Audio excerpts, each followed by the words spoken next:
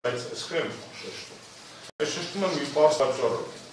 Փաստացի մերսագրված 3 արարքային, հա 3 հոդվածով ավելի շուտ էսպես ասենք, այս փողերի լվացումը ամենածանր հոդվածն է։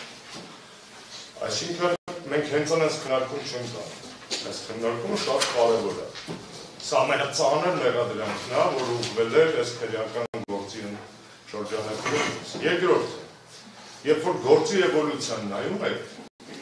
ապա տեսնեք, տարբեր քնչական մարմիններում, մասնավորապես ԱԱՑ-ում եւ հատկացայում նման տեսակի փողերի լվացման հետ կապված անգամ ակնարկ չի եղել, որ նման մեղադրանք անինել կամ գործերը թունովատել։ Ոչ։ Փողերի լվացում մեղադրանքը ծնվել է քնչական կոմիտեի խորքում վերջին փուլում արդեն, երբ որ փաստացի իրականում որևէ նոր ապացուցողական բան չկար, բայց ես հասկանում եմ, ասենք ապացուցների փուլում չեմ խոսում։ Այս պարզապես հիշեցնում եմ ձեզ,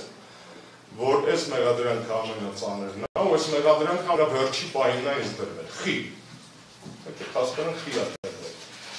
Որ հասկանանք հետո հետոյի ընթացքը։ Դրվել է երկու պատճառով շատ Երբ որ 2022 թվականի նոյեմբերին ինձ մեղադրանք առաջ դրվեց քնչական կոմիտեի կողմից, այս հոդվածի մերսագրումը ինձ շատ ուժեղ այսպես ասած ճնշման միջոց էր, որովհետև այս հոդվածով հնարավոր պատմումը շատ մեծ էր եւ վստահ եմ, որ համապատասխանատյաները նպատակ ունեին նման օթից ցակած մեղադրանքով սաստ կասնել ճնշումը իմ նկատմամբ։ Եվ երկրորդը, քանի որ գաղտնիք չի, որ որոշակի կապեր ունեն նաև արտասահմանում միջազգային գործընկերների հետ, փողերի լվացում հոդվածը մեղադրանքը ծանր է դրսի համար, էլի։ Դրսի համար շատ ծանր հոդված է սա, որտեղ money laundering կոչված է եվրոպական քաղաքական մշակույթում շրջանակներում համարվում է անց ներուկապաժատնի, հա, այսպես ասած, մեղադրան։ Սա արվեց, որպեսի բարգավեճեն ինձ մեր միջազգային գործընկերների մոտ։ Երկու շարժառիթներ չաշխատեց, այդ ճնշումը անպայման էր, որովհետև նոյեմբերից 22 թվականի մինչև իմ ազատության մեջ գտնվելու վերջին օրը եւ առավել եւս դրանից հետո ես քաղաքական գործունեության մեջ այդ ճնշմանը չեմ տարվել եւ ինչ վերաբերում է միջազգային գործընկերներին, ապա այդ հաշվարկը, որ փողերի լվացում լվացման մեջ մեղադրանքին մեղադրեն գաշոցյանին, որ նա խայտարակ լինի դրսում եւ իր հետ ոչ մեկ այլևս կապ չունենա, չպաշտպանի իրան եւ այլն, որ ըստեղ դրսում հանգիստ իրան հոշոտեն, դա նույնպես աշխատեց, որովհետեւ եվրոպական եւ միջազգային երկու մեծ կառույց հստակ մի քանի անգամ գնահատականը դրա իմ քաղաքական բանտարկյալ եղել։ Այս սախվի եմ ասում։ Գալիս եմ դատական ակտերի։ Դատական ակտերը, որոնք մեր վերվեցին պաշտպանների կողմից պարոն Աթենեսյանի եւ պարոն Մելիքյանի, հետեւյալի մասին է։ Շորժան ինձ մեղադրում են մի բանի մեջ, որի կասկած անգամ չկա։ Այսինքն նվազագույն կասկածի շեմը հաղթարված չի, բայց այդ մեղադրանքը մնացել է։ Համաձայն եք, որ սա անգամ Հայաստանի այսօրվա սուրյալիստական абսուրդի համար համաշխարհային ռեկորդ է։ Այսինքն վերակնիչ դատարանը ունի երկու որոշում, որոնք ուժի մեջ են մտել, որոնք դատախազության սրտով չէին մեկը բողոքարկվել, ավճռաբեկը թողել է ուժի մեջ չի բավարարել դատախազության միջնորդությունը։ Կասկած չկա իմ հետ կապված, ես փողեր չեմ լվացել, դատարանն էլ արտահայտել, դաժե չի կասկածում, բայց մեղադրանքը կա։ Համաձայն եք, որ առողջ ուղեղում, առողջ ուղեղում սա չի կարող տեղավորվել որպես նորմալ վիճակ Այսինքն ինձ չեն կասկածի շեմը հաղթարված չի, հատական ուժի մեջ մտած երկու վճռով դա արձանագրված է, մեղադրանքը դեռևս մնացել է։ Ո՞նց։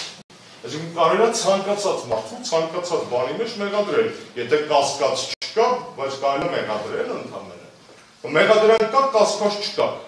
Հակառակը լինում է, էլի կասկած լինի, մեղադրանք հələ չլինի։ Բայց իմ նկարագրած բանը, ես այստեղ եմ ունիկալ, էլի, խայտարակ ունիկալ վիճակա, կասկած չկա, մեղադրանքը կա։ Հիմա դուք ունեք պատմական շանս։ Գոնե մեր սխելագար իրականության մեջ մի փոքրիկ բուժիչ գործողություն անել, որ մարդկանց կարոտքի չտա, թե ոնց կարելի չկասկածել, բայց մեղադրել։ Այսինքն, ես միանալով փաստաբանական թիմի հիմնավորումներին բերում եմ ձեզ այս փաստարկը նաև, որ կասկած չկա, ես չեմ լվացել դատարանը դա ընդունել է երկու անգամ, վճռաբեկը թողել է ուժի մեջ, հետևաբար առողջ բանության մեջ ենթադրվում է, որ մեղադրանքը չպետք լինի, որտեղ կասկած չկա։ Շատ տարօրինակ կլինի, էլի շատ է, շատ դժվար անել ուսուցվել իրավական առումով միջազգայինների մոտ հանրային կարծիքում, եթե կասկածը չկա, բայց մեղադրանքը պահպանվի։